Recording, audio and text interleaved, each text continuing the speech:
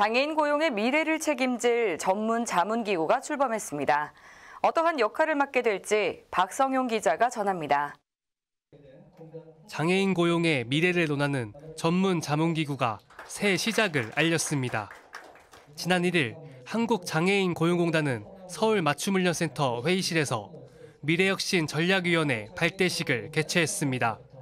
위원회는 공단의 새로운 비전 등 가치 체계를 재정립하고 현행 사업과 조직을 개편하는 등 혁신을 추진하기 위해 설립된 전문 자문기구입니다.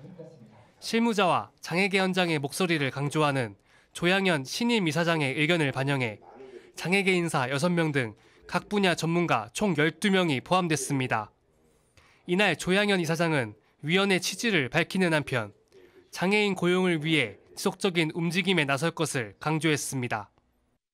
네, 우리나라에 장애인 의무 고용 제도가 시행된 지가 벌써 30여 년이 지나고 있습니다. 아, 그동안에 장애 인구의 변화라든가 또 장애인 고용 환경의 변화가 많이 있었는데요.